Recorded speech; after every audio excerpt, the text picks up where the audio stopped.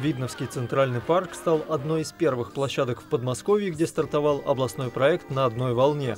В 25 городских округах каждые выходные будут давать концерты кавер-группы, исполняющие популярные российские песни. 29 апреля пять муниципальных э, образований, среди которых э, Ленинский городской округ, э, площадка Центрального парка, дали старт этому уникальному мероприятию. В нашем городе выступила группа «Русский бит».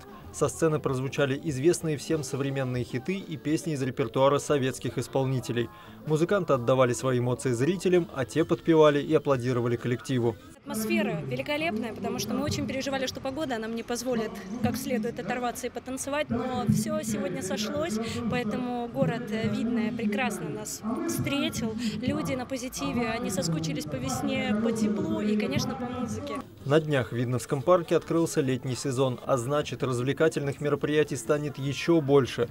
Музыкальный фестиваль «На одной волне» был предложен властями Подмосковья, чтобы разнообразить досуг жителей городов. Мы всегда каждые выходные приходим в парк, очень нравится, здорово, молодцы, э, кто устраивает это мероприятие.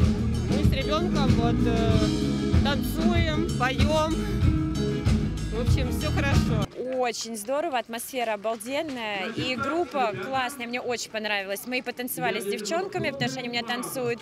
Мы вначале выступали, с нами танцевали, а потом мы уже с группой кавер танцевали. Нам очень понравилось.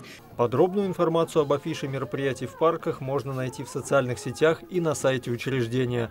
Дмитрий Книга, Кирилл Иванов, Екатерина Давлятова, Видное ТВ.